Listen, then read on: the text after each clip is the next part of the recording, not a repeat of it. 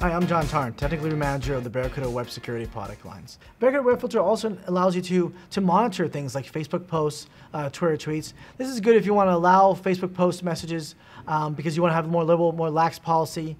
Uh, but you also want to cover yourself in that you want to be able to log what, what's being said um, for data leakage. Like what if you have a research project going on and someone's talking about it via a Facebook wall message, Twitter tweet, and it gets out before you're ready to, to, to make it public. Um, a lot of times for schools, uh, prevent against uh, uh, cyberbullying. Uh, what if you have a, a student uh, taunting another kid over a Facebook message? You want to track that so that we can be more proactive against things like depression and, and fights happening. So when you have those, those situations, we can easily do on the Barracuda um, uh, web filter, we can then enable uh, the logging of comments. I can enable the logging of wall posts and Twitter tweets.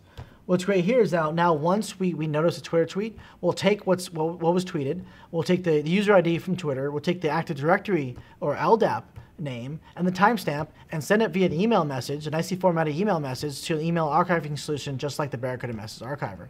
Now you can apply policies to it. So if someone does say something, we can alert the admin, we can alert a, a principal. The email address is configured here under administration.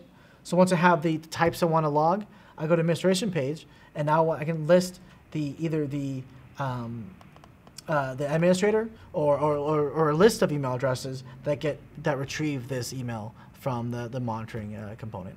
Thank you very much. Once again, my name is John Tarn. If you have any questions, please check out uh, website, barracuda.com.